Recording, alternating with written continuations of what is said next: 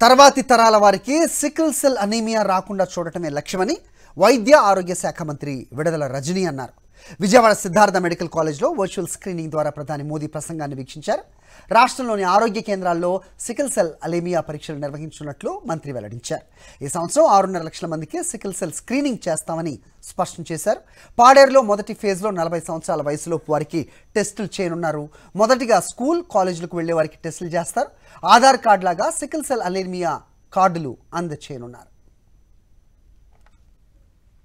తర్వాతి తరాల వారికి సికిల్ సెల్ అనీమియా రాకుండా చూడటమే లక్ష్యమని వైద్య ఆరోగ్య శాఖ మంత్రి విడుదల రజనీ అన్నారు. విజయవాడ సిద్ధార్థ మెడికల్ కాలేజ్లో వర్చువల్ స్క్రీనింగ్ ద్వారా ప్రధాని మోదీ ప్రసంగాన్ని వీక్షించారు.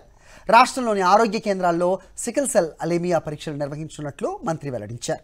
ఈ సంవత్సరం ఆరున్నర లక్షల మందికి సికిల్ సెల్ స్క్రీనింగ్ చేస్తామని స్పష్టం చేశారు. పాడేరులో మొదటి ఫేజ్లో నలభై సంవత్సరాల వయసులోపు వారికి టెస్టులు చేయనున్నారు. మొదటిగా స్కూల్ కాలేజీలకు వెళ్ళే వారికి టెస్టులు చేస్తారు. ఆధార్ కార్డు లాగా సికిల్ సెల్ అలేమియా కార్డులు అందచేయనున్నారు.